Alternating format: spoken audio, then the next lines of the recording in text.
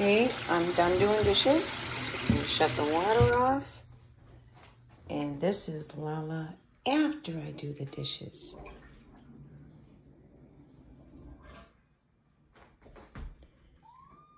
What? What? Yeah. Yeah.